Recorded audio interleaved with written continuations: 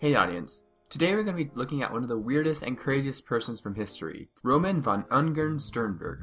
Assuming you read the title, you know he was a Russian general, but his story actually starts in 1886, in Graz, Austria, where he was born to a noble family who soon moved to Revel, Estonia, which was a part of Russia at the time. His parents ended up divorcing, so he went to live with his mom at the oh boy guys, it's another name I can't pronounce. Hoyningen Huen estate at Jurwakant now, as a kid, he began to develop sociopathic tendencies. It was like that one kid that even the bullies were afraid of.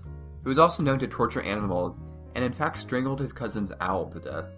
As he started to get older, he began to develop a special hate for poor people, and would boast about how he had never taken an order from a working class person.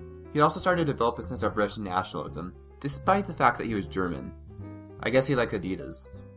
From 1900 to 1902, he went into a boarding school, but he got kicked out after two years for doing stuff ranging from smoking in bed to constantly fighting other cadets. After getting kicked out, he joined the military and went to fight in the Russo Japanese War. Then, when he got there, he basically saw no fighting as the war ended before he could do much. But while he was there, he began to develop an admiration for Japanese and Asian culture. God, he was the original weeaboo. So, because of this new fascination of Asian culture, he began to study Buddhism, Meanwhile, back in Estonia, a peasant revolt burnt down his family's estate. Thus, this fueled his belief that peasants are stupid, and it's their fault for not being happy while living in poverty. I swear I've heard this from someone before. So, Ungern went on to join a Cossack regiment after that. They were stationed on Lake Baikal in Siberia and lived a nomadic life doing border patrols against Chinese smugglers. This sort of fueled Ungern's Asia boner even more, which caused him to practice a militaristic version of Buddhism you know, their religion, which is about living in harmony with nature and like being peaceful and loving. He also began to heavily drink and take drugs like he's Keith Richards. Now, I guess is a bit much for his superiors, so they finally kicked him out. So when World War I started, he went to fight on the Eastern Front. Now, maybe due to the fact that he was both insane and drunk most of the time, he became known for doing suicidal horseback charges into German machine gun emplacements. You'd think that would be certain death, but I guess the sight of a drunken, insane Russian man charging straight at you kind of caused the German soldiers to shit themselves and retreat when they caught sight of him. He ended up getting the Cross of St. George for his efforts.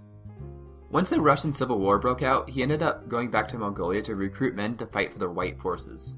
So, long story short, he recruits a ragtag army of Mongolian warriors, Chinese merchants, Japanese arm dealers, etc. Some of his first actions were raiding Soviet arms depots and the like.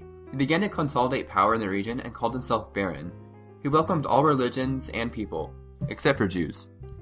He gained such a reputation that the Dalai Lama said he was the god of war reborn.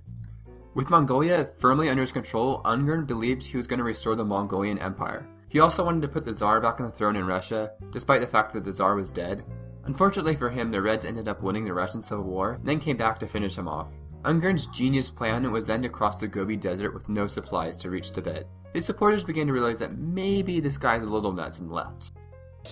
This is a load of barnacles. I heard that! The Reds promptly captured him and shot him. Thanks to patron Emerson Salmero Rubio. Also check out my Twitter and Discord, links all in the description.